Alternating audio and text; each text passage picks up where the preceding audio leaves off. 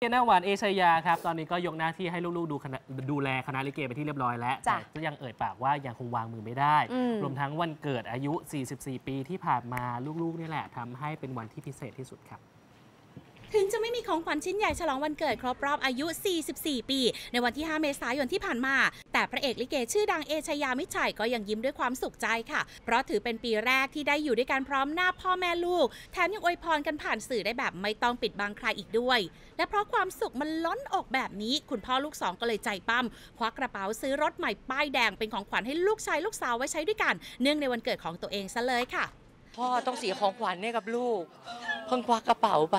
เอาแต่วันแต่เป็นวันเกิดเรานะเป็นวันเกิดก็บอกว่าวันเกิดพ่อหนูอยากได้อะไรแล้วลูก ใช้ร่วมกันเถอะครับ ใช้ร่วมกันก่อนกระเป๋าพ่อจะไม่ไหวแล้ว ส่วนเรื่องงานที่ตอนนี้คิวแน่น 7 วันจนลูกๆ ต้องออกปากขอร้องให้หยุดพัก คุณพ่อเอยืนยันหนักแน่นนะคะ ว่ายังไงยังไงก็วางมือไม่ได้ โดยเฉพาะคณะลิเกมิตรชัยรุ่น 2 ที่น้องแป้งลูกสาวและมิตรน้องชายรับหน้าที่สานต่อ แต่วันดีคืนดีก็มักจะเห็นหนุ่มเอแอบขึ้นเวทีเซอร์ไพรส์แม่ยกอยู่บ่อยๆ ค่ะ พ่อพ่อพักเถอะ ไอ้แป้ง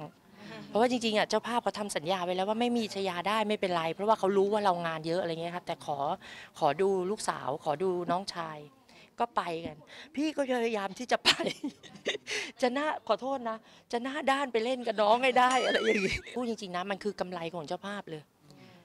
บางทีพี่ก็แวบไป พี่แวบไปแล้วเจ้าภาพแบบเมื่อที่แล้วไปเล่นงานเออในอำเภอหาดที่จังหวัดอ่างทอง อ่างทองเล่นแล้ว